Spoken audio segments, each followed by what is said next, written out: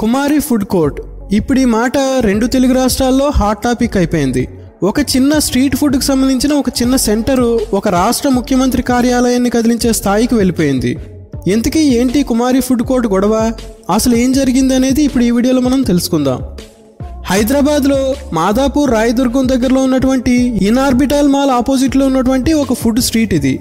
ఇక్కడ చాలా చిన్న చిన్న వ్యాపారులు బిర్యానీ కానీ లేదా మీల్స్ కానీ ఇతరత్ర ఫుడ్ బిజినెస్ చేస్తూ ఉంటారనమాట ఇక్కడున్న ఫుడ్ స్టాల్ అకస్మాత్తుగా సోషల్ మీడియాలో ఫేమస్ అవడం వల్ల రకరకాల పరిణామాలకు దారితీసింది.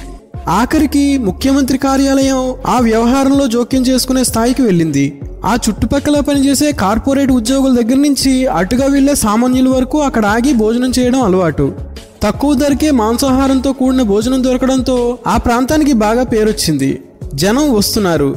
ఆ క్రమంలోనే అక్కడ ఫుడ్ స్టాల్ నడిపే సాయి కుమార్ని చాలామంది యూట్యూబ్ ఫుడ్ ఛానల్స్ వారు ఇంటర్వ్యూలు చేశారు. ఆంధ్రాలోని గుడివాడ ప్రాంతానికి చెందిన సాయి కుమారి ఆమె భర్త కలిసి అక్కడ ఫుడ్ స్టాల్ దాదాపు పదేళ్ళ నుంచి నిర్వహిస్తున్నారు. మార్కెట్తో పోలిస్తే తక్కువ ధరకే పలు రకాల రైస్ ఐటమ్స్ కొంచెం కొంచెంగా వడ్డిస్తూ అందరినీ నాన్న అమ్మ అంటూ పిలిచి వడ్డించే ఆవిడ శైలితో కొన్ని వీడియోలు రెండు మూడేళ్ళ నుంచి తిరుగుతున్నాయి. ఆ క్రమంలో ఒక్కో యూట్యూబ్ ఛానల్ వారు ఫుడ్ ఛానల్ వారు ఆమెను ఇంటర్వ్యూ చేయడం ఆమె ఇంటికి వెళ్ళి వంట వీడియోలు తీయడం ఆమె ఆదాయం గురించి వివరాలు చెప్పడం ఇలా మీడియాలో ఆమె వీడియోలు పెరిగాయి. ఈ మధ్య రెండు నెలలుగా ఆమె ఆదాయం మీద వ్యాపారంలో వచ్చే లాభాల మీద కూడా చర్చ జరిగింది.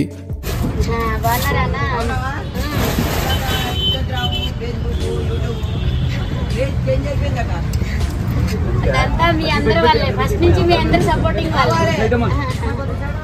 అంతేకాదు రెండు లివర్ కర్రీలు వెయ్యి రూపాయలు అనే వీడియో ఒకటి వైరల్ అయిపోయింది. అంత ధర అనే చర్చ ఒకటి. తర్వాత ఇంకొందరు యూట్యూబ్ ఛానల్స్ వారు వెళ్ళినప్పుడు దానికి ఆవిడ ఇచ్చిన వివరణ ఆరుగురు నాన్ వెజ్తో చాలా వెరైటీలతో భోజనం చేయడం వల్ల వెయ్యి రూపాయలు అనడం ఇలా ప్రతిదీ వైరల్ అవుతూనే వచ్చింది. ఆమె వ్యాపారం ఆమె మాట తీరు అందులో వచ్చే లాభాలపై చర్చ ఇలా అన్నిటికీ బాగా స్పందన వస్తుండటంతో డిజిటల్ మీడియా సంస్థలు ఆమె వెంటపడ్డాయి. ఈ క్రమంలో నెల రోజులుగా ఆమె చుట్టూ నిరంతరం కెమెరాలు ఫోన్లే కనిపించేవి. రోజు ఐదు నుంచి పది ఛానల్ వారు ఆమె ఇంటర్వ్యూల కోసం వస్తూ ఉండేవారు. ఒక దశలో ట్రక్ ఆటోలో ఆవిడ వంట పాత్రలు తెస్తూ ఆటో దిగుతుంటేనే ఆమెను నలుగురు ఐదుగురు వీడియోలు తీసేవారు. ఆమెను అలా కొందరు వీడియో తీసే దృశ్యాన్ని మరొకరు వీడియో తీసి దానికి రజనీకాంత్ సినిమాల్లో ఎలివేషన్ ఇచ్చే బ్యాక్గ్రౌండ్ మ్యూజిక్ పెట్టి రీల్స్ వదిలారు.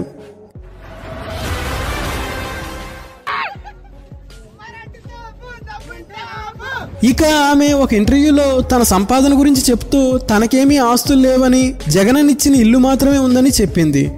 ఆధార్ కార్డు అన్ని మీరు కుడితే వచ్చేస్తుంది కదా నా పేరు మీద ఏమున్నాయి అనేది? ఒక మన వైఎస్ జగన్మోహన్ రెడ్డి గారు ఇచ్చిన ఇల్లు మాత్రం ఉంది. మన ఇల్లు వచ్చింది. ఆ ఇల్లు మాత్రం అది కూడా పైన వచ్చింది. దీంతో ఆ వాక్యం చుట్టూ వైఎస్ఆర్సీపీ తెలుగుదేశం వారు సోషల్ మీడియా వేదికగా వాదించుకోవడం మొదలుపెట్టారు. ఆమెకి ఇల్లు ఇవ్వడాన్ని వైఎస్ఆర్సీపీ వారు బాగా ప్రచారం చేసుకున్నారు. ఈ క్రమంలో ఆమె వాహనాన్ని పోలీసులు ఆపడం టీడీపీ కాంగ్రెస్ కుట్ర అంటూ ప్రచారం జరిగింది. దానికి మళ్ళీ కౌంటర్ ప్రచారాలు ఇలా ఇది రాజకీయ రంగు కూడా పులుముకుంది. ఇక సినిమా నటుడు సందీప్ కిషన్ ఒకసారి అక్కడికి వచ్చి భోంచేశారు. ఏకంగా ఒంగోలు నుంచి వచ్చి కుమారాంటి ఫుడ్ స్టాల్లో భోజనం చేశారు అన్న వీడియో కూడా వైరల్ అయింది. వారు పనిగట్టుకుని ఒంగోలు నుంచి హైదరాబాద్కు వచ్చి భోజనం చేశారా? లేక హైదరాబాద్ పని మీద వచ్చి పనిలో పనిగా అక్కడికి వెళ్ళారా తెలియదు ఇలా వీడియోల కోసం ఆమె దగ్గరికి చాలా మంది వస్తుంటే పక్క షాపుల వారు మాత్రం అసహనం వ్యక్తం చేసేవారు. సాధారణంగా రోడ్డుపై మధ్యాహ్న సమయంలో బాగా ట్రాఫిక్ ఉంటుంది. భోజనం కోసం వచ్చిన వారు కార్లు బైకులు అక్కడ రోడ్డు పొడవునా పార్క్ చేయడమే అందుకు కారణం. ఇక ఛానళ్ళు పెరగడంతో అక్కడ చిన్న సైజు తిరునాళ్ళ వాతావరణం మొదలైంది. దీంతో జనవరి ముప్పై తేదీ మంగళవారం స్థానిక రాయదుర్గం ట్రాఫిక్ పోలీసులు ఈ రోడ్డుపై ట్రాఫిక్ క్లియర్ చేసే పని పెట్టుకున్నారు. ముఖ్యంగా కుమారికి చెందిన ఫుడ్ ఉండే వాహనాన్ని ఆపి కేసు పెట్టారు. దీంతో ఈ గొడవ స్టార్ట్ అయింది. మా బండి సీజ్ చేశారు. పోలీసులు దౌర్జన్యం. ఇట్లా పట్టుకుని ఇట్లా గుంజి ఇట్లా. ఇట్లా గుంజి ఇట్లా పెట్టుకుని అందరి వ్యాపారాలను కొనసాగిస్తూ తమ వాహనాన్ని మాత్రమే పోలీసులు ఆపేశారంటూ కుమారి ఆమె భర్త మీడియా ముందు ఆరోపించారు. తమ బండిని పోలీసులు అడ్డుకున్నారు ఏదో ఒకటి చేయండి మీరే అంటూ మీడియాతో చెప్పారు. మీడియా వాళ్ళ వల్లే ఇదంతా జరుగుతుందని బాధపడ్డారు.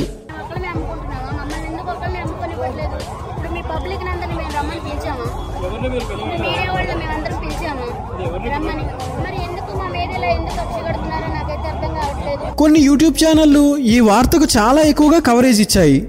దీంతో కుమారి ఆంటీ షాపును మూయించేసిన పోలీసులు షాపు తీసేసిన పోలీసులు అంటూ నానా రకాల వార్తలు వచ్చాయి. దీనిపై రాయదుర్గం పోలీసులు మేము ఏ షాపు తీయలేదు. షాప్ ముయించడం మా పని కాదు. మేం చేయలేదు. కానీ ట్రాఫిక్ క్లియర్ చేయడం మా పని. ఆ రోడ్లో విపరీతంగా ట్రాఫిక్ ఇబ్బంది ఉంది. అందుకే రోడ్డుపై అడ్డుగా ఉండే వాహనాలన్నింటినీ క్లియర్ చేశాం. ఆవిడ వాహనం కూడా రోడ్డుపై పెట్టారు. కాబట్టి కేసు పెట్టాం. ట్రాఫిక్ విషయంలో మేము ఖచ్చితంగా ఉంటాం అని పోలీసులు మీడియాతో చెప్పారు.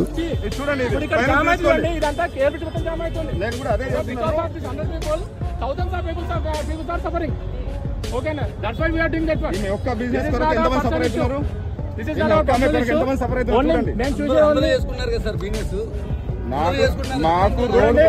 ఎక్కడైతే డిస్టర్బెన్స్ లేదో అక్కడ మాత్రమే మేము ఎంటర్ అవుతాము. కానీ ఫాలో అవుతాం కుమారి ఉపయోగించే వాహనాన్ని మార్పులు చేర్పులు చేశారని మోటారు వాహనాల చట్టం ప్రకారం అది కూడా తప్పే కాబట్టి ఆ సెక్షన్ కింద కూడా కేసు నమోదు చేసినట్టు రాయదుర్గం పోలీసులు చెప్పారు. మంగళవారం జరిగిన ఈ పరిణామాలతో బుధవారం ఉదయం నుంచి ఆ రోడ్లో హడావిడి పెరిగింది.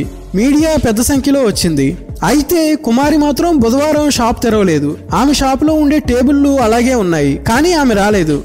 అక్కడికి వచ్చిన మీడియా వాళ్ళను మాత్రం ఆమె పక్క షాపులకు చెందిన వారు తీవ్రంగా విమర్శించారు. మీడియా వల్ల ఇదంతా జరుగుతుందని ఆరోపించారు. మేమంతా చిన్నవాళ్ళం బతుకు తెరువు కోసం వచ్చాం. అందరికీ రకరకాల సమస్యలు ఉన్నాయి దయచేసి మమ్మల్ని వదిలిపెట్టండి అంటూ చేతులెత్తి దండం పెట్టారు. అక్కడ మిగిలిన షాపుల మహిళలు మీడియా ప్రతినిధులపై విసుక్కుంటూ కోప్పడ్డారు. ఈ పరిస్థితుల్లో బుధవారం ఉదయం మరోసారి ట్రాఫిక్ పోలీసులు రంగప్రవేశం చేశారు. అక్కడ ఏ షాపు వారిని ఏమీ అనలేదు. కానీ అక్కడ రోడ్డుపై బండ్లు నిలపవద్దని చెప్పారు. రోడ్డుపై ఉన్న బండ్లన్నింటినీ ఫోటోలు తీసి జరిమానా వేశారు. చట్ట ప్రకారం అక్కడ పార్కింగ్ చేయకూడదంటూ అక్కడ రెండు నో పార్కింగ్ బోర్డులు కూడా ఉన్నాయి. వచ్చిన వారికి ఆ బోర్డులు చూపిస్తూ ఉన్నారు పోలీసులు. ట్రాఫిక్ ఏసీపీ నుంచి కానిస్టేబుల్ వరకు అక్కడే ఉన్నారు. మధ్యలో ముఖ్యమంత్రి వస్తారని వార్తలు వచ్చినప్పుడు స్థానిక సీఐ వచ్చి వెళ్ళిపోయారు. అక్కడి కొందరు కస్టమర్లతో మీడియా వాళ్ళు ఇంటర్వ్యూలు తీసుకున్నారు. కొన్ని యూట్యూబ్ ఛానల్ వారు స్థానిక ట్రాఫిక్ ఏసీపీతో ఇంటర్వ్యూ తీసుకునే క్రమంలో వారి మాటల ధోరణిపై పోలీసులు ఆగ్రహం వ్యక్తం చేశారు. పోలీసులదే తప్పన్నట్టు కొన్ని ఛానళ్ళు ప్రసారం చేయడంపై వారు అసహనం వ్యక్తం చేశారు. ఇది రోడ్డు ఇక్కడ బండ్లు పెట్టకూడదు. ఎవరైనా బండ్లు దూరంగా ఎక్కడైనా పెట్టుకుని నడిచొచ్చి వెళ్ళి భోజనం చేయొచ్చు. దానికి మాకేం అభ్యంతరం లేదు అంటూ పోలీసులు చెబుతున్నారు పోలీసులు పార్కింగ్ విషయంలో కఠినంగా వ్యవహరించి ట్రాఫిక్ క్లియర్ చేయడంతో అక్కడ వ్యాపారం కాస్త తగ్గింది. మీడియా వాళ్ళను వెళ్ళిపోవాలంటూ షాపుల వారు బతిమలాడారు. కానీ దాదాపు మధ్యాహ్నం రెండు గంటల ప్రాంతంలో పరిస్థితి మారింది. ఈ విషయంలో ముఖ్యమంత్రి కార్యాలయం జోక్యం చేసుకుంది. ముఖ్యమంత్రి ముఖ్య పౌర సంబంధాల అధికారి బి అయోధ్యరెడ్డి ఈ అంశంపై ఒక ప్రకటన చేశారు. కుమారి షాపును కొనసాగనివ్వాలని ముఖ్యమంత్రి రేవంత్ రెడ్డి మున్సిపల్ శాఖ పోలీస్ శాఖలను ఆదేశించారు. అదే సమయంలో ట్రాఫిక్ ఇబ్బంది లేకుండా చూడాలని కోరారు. తమది ప్రజాప్రభుత్వం అని వ్యాపారులకు అండగా ఉంటుందని ముఖ్యమంత్రి అన్నారు. త్వరలో సీఎం ఆ ఫుడ్ స్టాల్ విజిట్ చేస్తామన్నారంటూ అయోధ్యరెడ్డి ప్రకటన చేశారు. దీంతో ఫుడ్ కోర్ట్ దగ్గర వాతావరణం మెల్లిగా మారుతూ వచ్చింది. మీడియాలో ప్రకటన వచ్చిన తర్వాత కూడా అక్కడే కొనసాగిన ట్రాఫిక్ పోలీసులు క్రమంగా అక్కడి నుంచి వెళ్ళిపోయారు. ఒక్క ట్రాఫిక్ పోలీస్ కూడా ఆ ప్రాంతంలో లేకుండా వెళ్ళిపోయారు. తర్వాత కొన్ని నిమిషాల్లోనే మళ్ళీ ఫుడ్ కోర్టు కిటకిటలాడింది. రోడ్డుకు రెండు వైపులా కార్లు బైకులు పార్కింగ్లు వచ్చాయి. అకస్మాత్తుగా టెంట్ లేకుండా ఫుట్పాత్ మీద మాత్రమే పెట్టే షాపులు కూడా వెలిశాయి. అంతా సందడిగా మారింది. ఎండలో కష్టపడి డ్యూటీ చేసిన ట్రాఫిక్ పోలీసుల్లో మాత్రం అసంతృప్తి స్పష్టంగా కనిపించింది. కానీ ఎవరూ పెదవిప్పలేదు. కుమారి తన ఇంటి నుంచి మీడియాతో మాట్లాడుతూ రేవంత్ రెడ్డి గారికి కృతజ్ఞతలు చెప్పారు. రేవంత్ తన స్టాల్కి వస్తే పూర్వజన్మ పుణ్యం అని చెప్పారు. ఇప్పుడు ఈ స్టాళ్ళన్నీ ఉన్న స్థలం తెలంగాణ ఇండస్ట్రియల్ ఇన్ఫ్రాస్ట్రక్చర్ కార్పొరేషన్కి చెందుతుంది. తెలంగాణలో పరిశ్రమలకు భూములు రోడ్లు కల్పించడం ఆ సంస్థ లక్ష్యం. అక్కడ ఎవరైనా కంపెనీలు పెట్టాలంటే వారికి భూములు ఇవ్వడానికి ఉద్దేశించిన స్థలం అది. అయితే ఆ స్థలంలో ఉన్న ఈ షాపులను ఖాళీ చేయించాలని టీఎస్ఐసి ఎప్పటి నుంచో తీవ్ర ప్రయత్నాలు చేస్తుంది. ఇక్కడ షాపులున్న పదమూడు మంది టిఎస్ఐఏసికి వ్యతిరేకంగా కోర్టుకెళ్ళారు. ప్రస్తుతం కోర్టులో ఆ కేసు నడుస్తుంది. రెండు వేల పదహారులో ఈ షాపుల వారు కోర్టుకి వెళ్ళారు అప్పటికే వ్యాపారం చేస్తున్న వారికి ఇబ్బంది పెట్టకుండా షాపులు నడుపుకోవాలని కోర్టు తీర్పునిచ్చింది. మధ్యలో ఒక సందర్భంలో మేము ఇదే రోడ్లో వేరే స్థలాన్ని ఫుడ్ కోర్టు కోసం ఇచ్చి వారిని తరలించి కొంతమేర ఫెన్సింగ్ వేశాం. కానీ వాళ్ళు కూడా వెళ్ళకుండా మా మీద ఒత్తిడి చేయించి అక్కడే ఉండిపోయారు. వారిని ఖాళీ చేయించడానికి కోర్టు నుంచి స్టే ఉంది అంటూ పేరు చెప్పడానికి ఇష్టపడిన ఒక ఉన్నతాధికారి చెప్పారు. ఈ స్థలం నుంచి ఎలాగైనా మొత్తం అందరినీ ఖాళీ చేయించి దాని చుట్టూ ఫెన్సింగ్ వేసుకోవాలన్న టీఎస్ఐఏసి కల మాత్రం ఇప్పట్లో నెరవేరకపోవచ్చు. సో ఫ్రెండ్స్ దీని గురించి మీ అభిప్రాయాన్ని కామెంట్ చేసి తప్పకుండా తెలియజేయండి. ఈ వీడియోని లైక్ చేసి మన ఛానల్కి సబ్స్క్రైబ్ చేసుకోండి. Thanks for watching.